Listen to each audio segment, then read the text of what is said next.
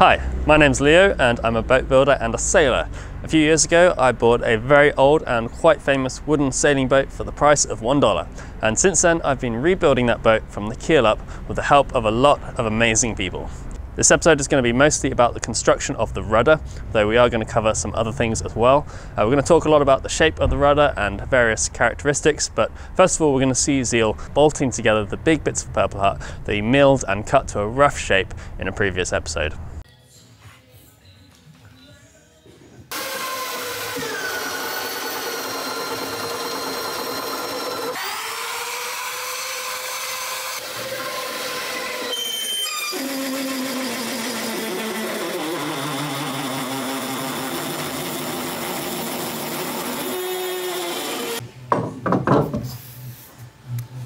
Now you're through. Oh, thank God. Close to the middle, too. Yeah. Got away with it again.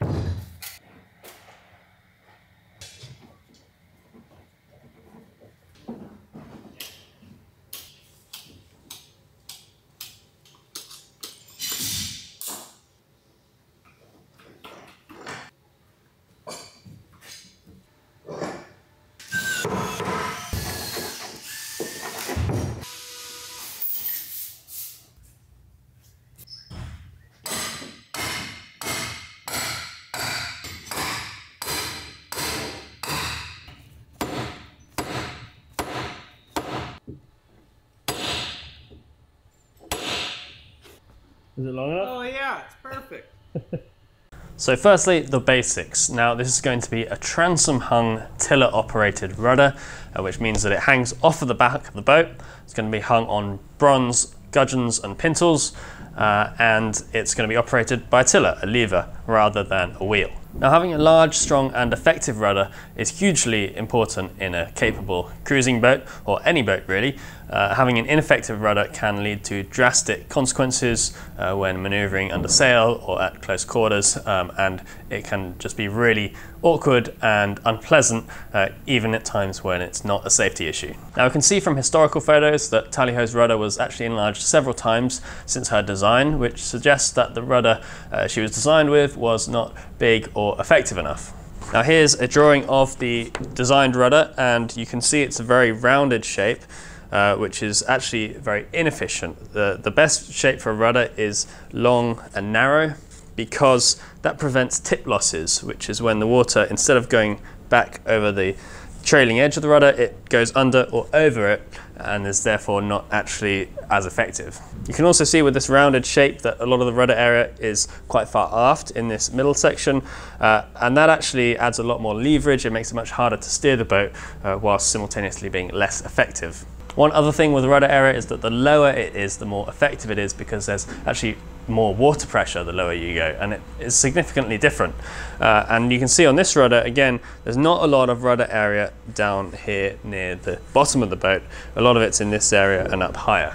Now I did a lot of research into recommended rudder sizes and ratios and uh, consulted some naval architects and it became clear that Tally Ho's original rudder was actually far too small. Now I would have loved to follow the original designs and of course it's a very artistic flowing shape that Albert Strange has drawn but in fact it's a safety issue um, and it's very important to have an effective rudder that's large enough. So I redesigned the rudder and this is what I came up with eventually. As you can see it's a much larger area to this black line here there's a lot more area down below near the bottom of the boat and it's much more square, uh, so there'll be a lot less tip losses. Um, this little pink tab on the back is actually going to be a trim tab. Don't worry about that quite yet. Uh, I'm going to explain what a trim tab is and why we need one a bit later. For now, the rudder is going to get a purpleheart strip attached to its bottom edge, uh, which will protect the end grain of the main pieces, and Zeal is going to start shaping it. And that is going to be accompanied by some live music this time uh, from some local musicians who came around to the workshop the other day. Black tea. Hey.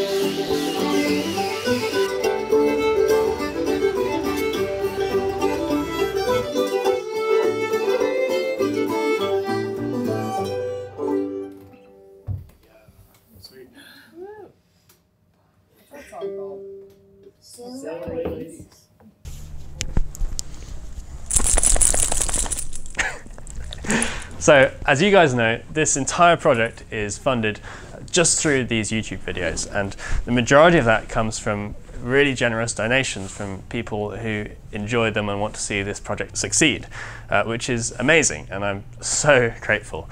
Um, uh, but recently, uh, due to rising costs, I have been doing some uh, integrated ads as well, and today, Zora and I have got a sponsorship for our lunch. HelloFresh is a subscription service that delivers step by step recipes and fresh, pre proportioned ingredients right to your door. Mmm, Smells great. With HelloFresh, you get seasonal ingredients picked at peak ripeness for quality you can taste. With rising grocery costs, now's the perfect time to get started with HelloFresh. It's way cheaper than eating out and can even be cheaper than grocery shopping, thanks to pre-proportioned ingredients. I love cooking HelloFresh in the boatyard. It's so easy. It saves me so much time.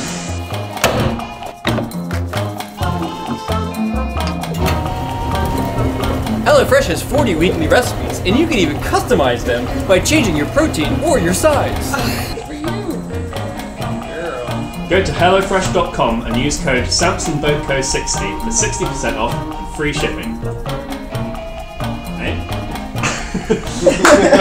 well, that meal was actually really good, and I'm sure it would have been way better if I'd actually followed the instructions properly.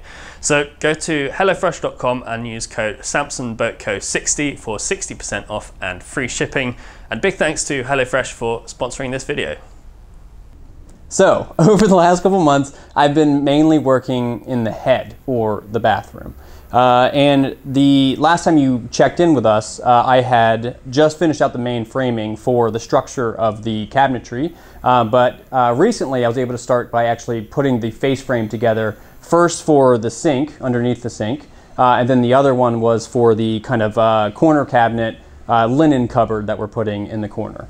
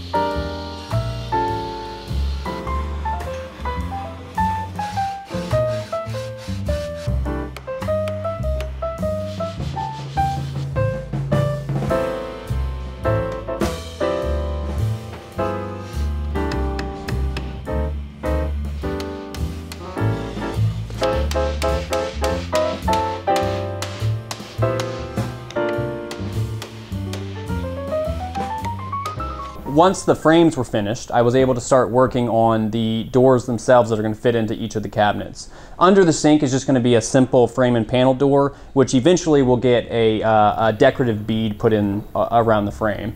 Uh, for the uh, closet in the corner, we went with a louvered door for ventilation. Once those were fit, I was able to start uh, rounding off the corner post that extends from uh, the sole of the of the head up until uh, the decking. Let's do that again. So can I just do that last bit? After the doors were done, I was able to round that corner post, which kind of ties everything together. Uh, and then I was able to finally get the countertop put in. Eventually we'll cut a hole in the countertop where the basin will be mounted beneath.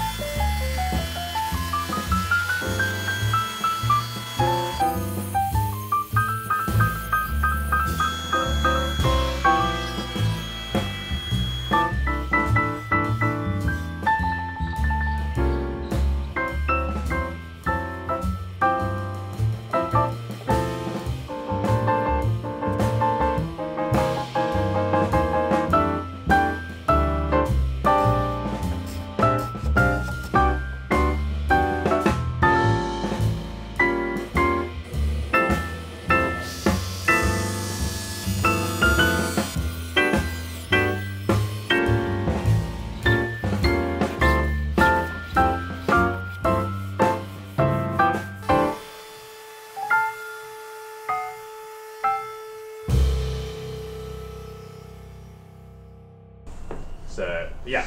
Zeal, what have you been up to? Oh, wouldn't you like to know? Uh, I've been working on constructing the rudder.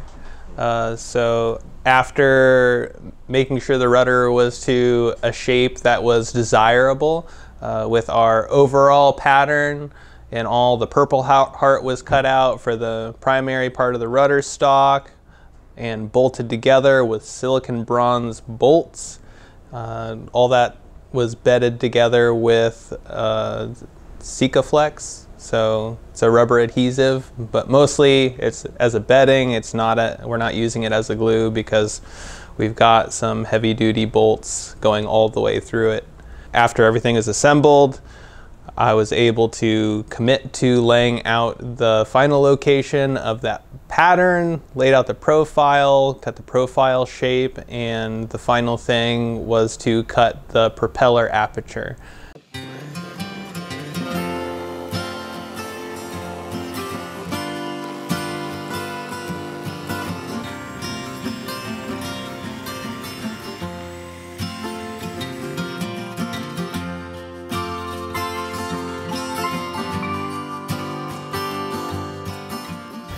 Good. Hopefully it's the right shape. Yeah. I don't know, you think I ought to tune it up a little bit? Yeah, now nah, be alright. I'm sure the propeller will will make the hole that it needs. Yeah, I don't know why we were worrying about it. You it just, just, sharpen the propeller yeah. edges and it'll trim it. That's right.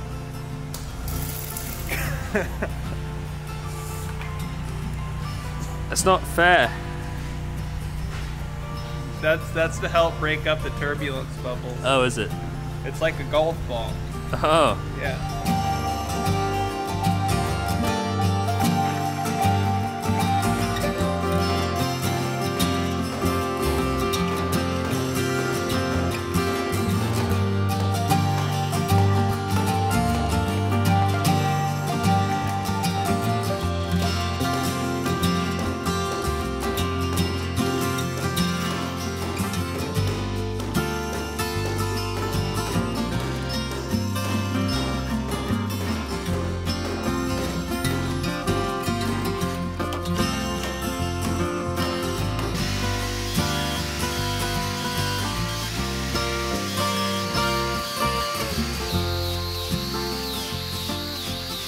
So figuring out the best shape for the prop aperture was actually more challenging than I expected.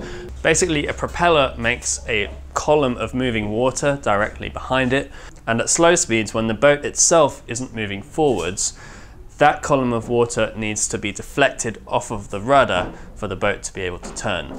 If the boat is actually traveling through the water, then the entire rudder uh, will have some turning effect. But if the boat is pretty much stationary and you're trying to turn the boat, then it's only the part of that column of water that's deflecting off the rudder which is going to be effective in turning the boat and that's called prop wash. Because of this we wanted to bring the rudder as close to the prop as possible making that aperture as small as possible bearing in mind that we needed a minimum distance between the prop and the rudder itself at all rudder angles to prevent excess cavitation of water which happens when something like the rudder is too close to the moving prop. To get this right, Zeal and I made multiple mock-ups in plywood to test different rudder angles of our proposed prop aperture shape and make sure uh, that they were effective in catching some of that column of water, uh, but not too close to the prop.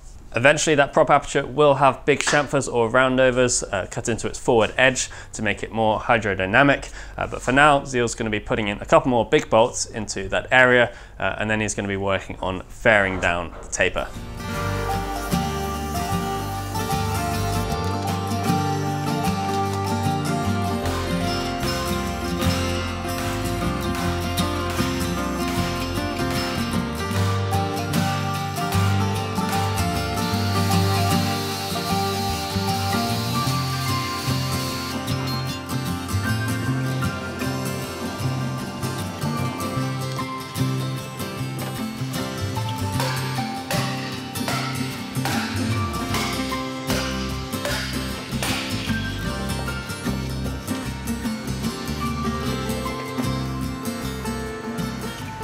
Yeah, so after all of the uh, profile was cut and the propeller aperture was cut, uh, I shaped the taper into the rudder. So that taper is just a straight taper from the rudder stock where it's closest to the boat out to the aft edge or the trailing edge. Uh, so it's a taper from four inches back to the trailing edge where it meets the trim tab of inch and a half And once the trim tab is installed, that is going to taper from an inch and a half down to a quarter inch. So we'll have a very fine trailing edge for the water to be able to flow by and have the minimum amount of turbulence.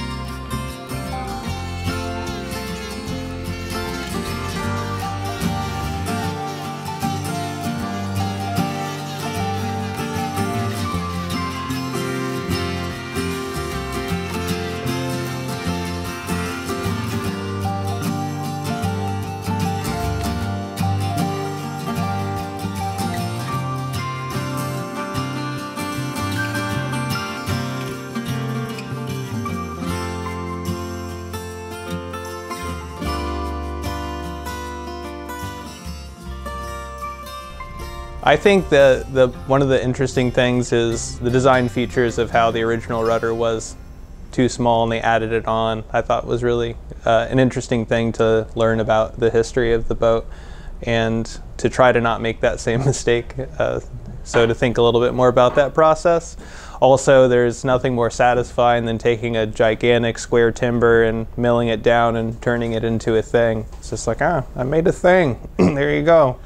Uh, so, as like childish as that sounds, it's you know, it's a satisfying thing.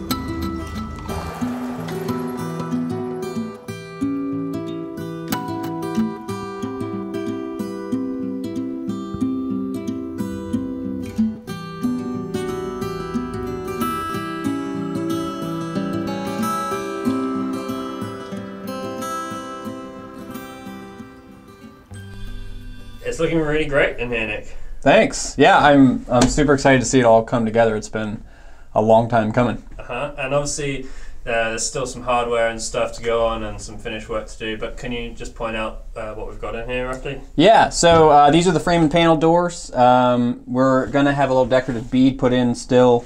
Um, uh, I think we're going with brass brass knobs, brass hardware.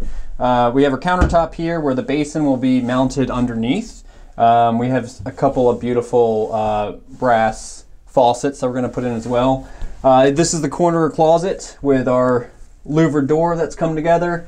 Uh, eventually, we'll do uh, the same motif we did in the master bedroom uh, up here as well. Um, yeah, we have our little frame and panel down here.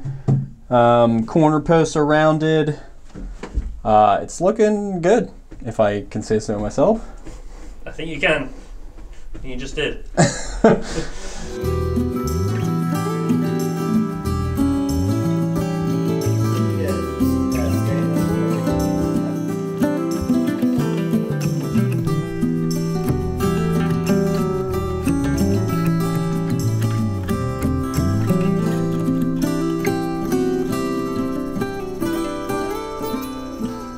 Now I spoke a while ago about Tally-Ho's rudder having a trim tab and I'm going to try and explain what that is and why we're using it. A trim tab is a smaller additional rudder that is separate but linked to the main rudder. So if you imagine this being the main rudder and this is the point where it pivots on the boat, a trim tab might go on its aft edge like this or sometimes can actually be separated. Now trim tabs can be used in different ways. It's probably most common to see trim tabs uh, on power boats uh, where they actually just accentuate the movement of the main rudder and that just increases the steering efficiency uh, and effectiveness at low speeds. But we're using this trim tab in a different way. We're actually using the trim tab not to steer the boat but to steer the rudder. So it acts somewhat independently and if the trim tab moves like this, it actually forces the rudder to move the opposite direction because of the flow of water over the trim tab. The purpose of doing that, of using the trim tab to control the rudder, is that you only need a very small amount of force to control the trim tab, uh, much smaller than you would to control the whole rudder. Uh, and that's because it uses the water passing over it to sort of amplify or leverage the movement. Of course, if the boat is stationary, then the trim tab wouldn't do anything, but in that case, nor would the rudder. The reason that that is useful and important is usually uh, in self-steering applications uh, when you're using something like a wind vane to control the steering of a boat.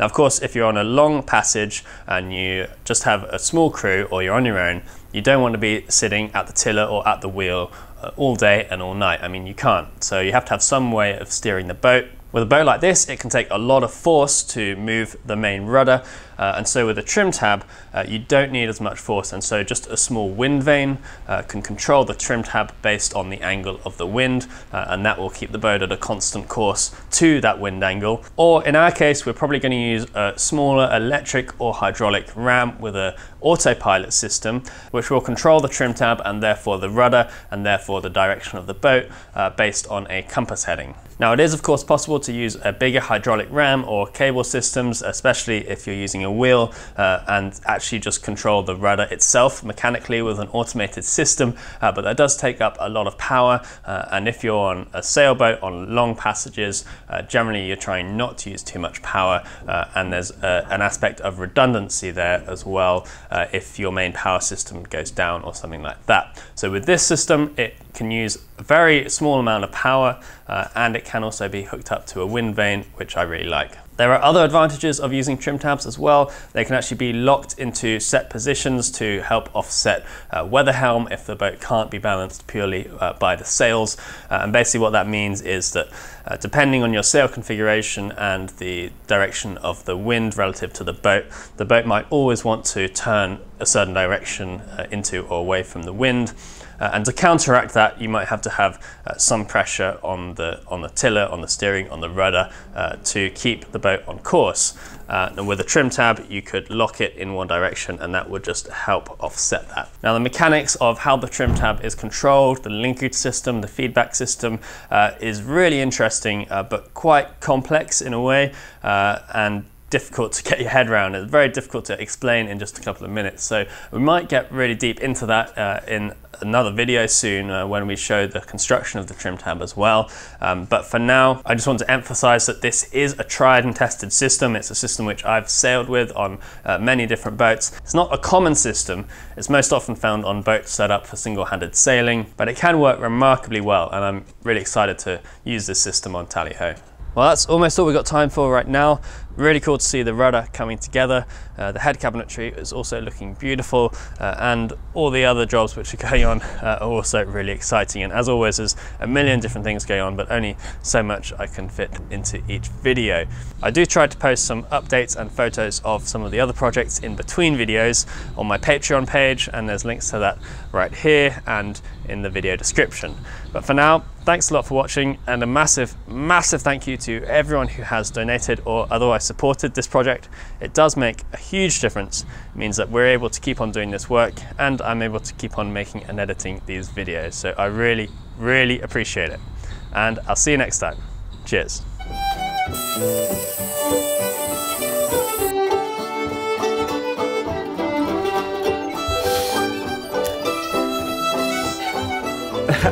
we here at Sampson Boat Co recommend a zero clearance insert for cutting sweet potatoes on your Powermatic bandsaw.